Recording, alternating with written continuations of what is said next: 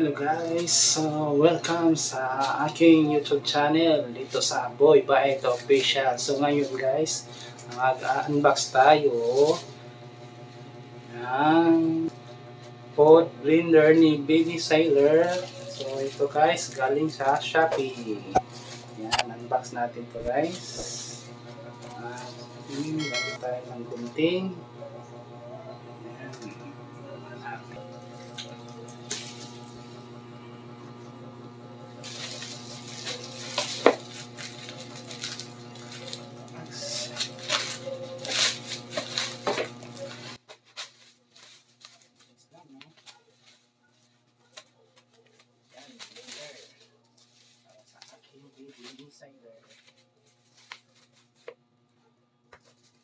Ganito guys, ay. Yan. Yugo. Yan, yugo.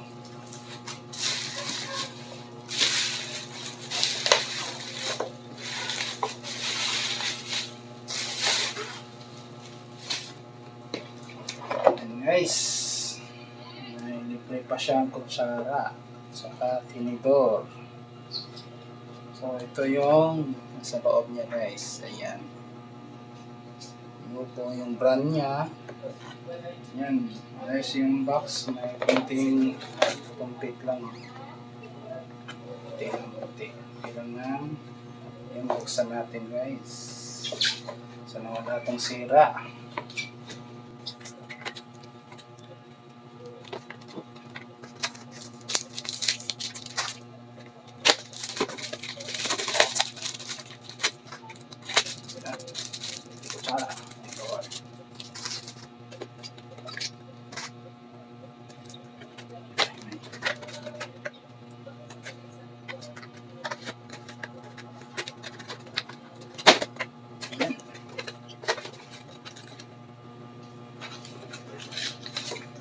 Siyang user manual guys. User manual. Ang gano'n pagka ano, roots dito. Meron siyang styrofoam. Sa protection.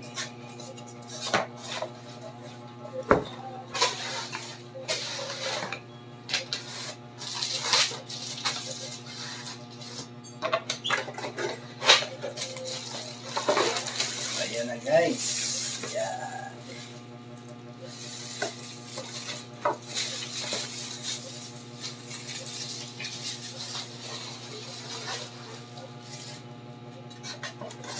Ayan. Meron pa ang nito. Tingnan ko anong gamit nito. Yung styrofoam sa ilalim. Hindi siya masira. Ayos naman yung pagka lagay niya sa box, safety siya. Wala siyang sira.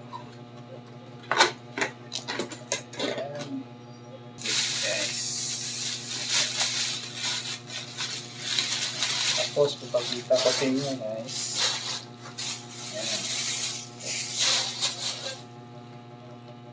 Yan na. Oh. Diba? Gusto. Guys, kita ko sa inyo yung ang laman niya guys. Yan. Ito. Yan. User manual. Sara Tinitor. At ito. Ano pang Baka ito yung pang mixer niya. Pagkita ko sa inyo kung gagana pa siya. Sana yung gumana to. Pero wala nang asin. Yan. Sana. Yan. So, test natin yung blender niya. Kung gagana ba. So, ayun. Sa blender niya, gagana siya guys. Ayun. Kita-kita ko sa inyo guys. Ayun, oh. Umiikot siya guys. Ayan. Ayan. Ito naman siya. So, next natin test yung So, papakita ko sa inyo guys kung paano siya buksan. Ganito lang pala siya guys. Ayan. Tapos natin dito. Pag ano, pababa. Ayan. Ayan, bukas na siya guys. Tingnan natin yung kanyang loob niya. Ayan guys.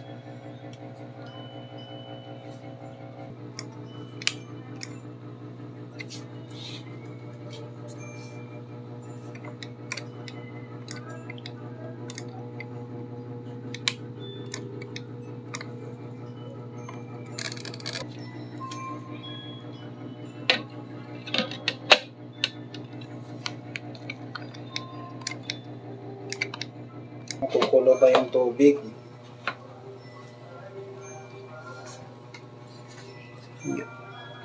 On lang natin.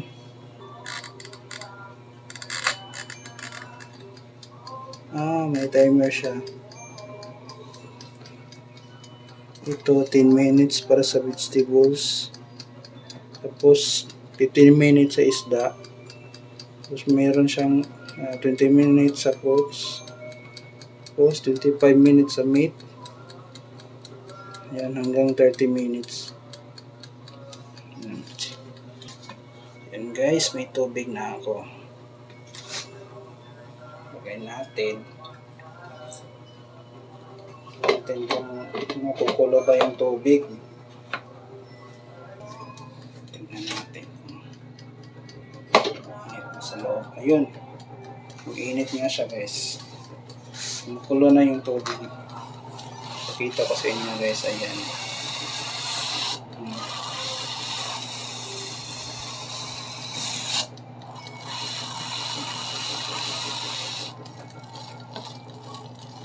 Nyo guys, ayan. Kumukulo talaga yung tubig. Hey, salamat Shopee. Maayos yung pag-deliver nyo sa amin gamit to guys. So ano yung masasabi nyo dito guys? Uh, iya pala ito yung binili namin. Yobo brand kasi yung Yobo. Branded siya guys. So kapag hindi na natin kailangan pwede natin siyang may benta para hindi naman masayang yung pera natin. Yan guys So kung bago lang kayo sa ating videos, paki-like at subscribe naman dyan. Salamat! Paalam! See you on the next video.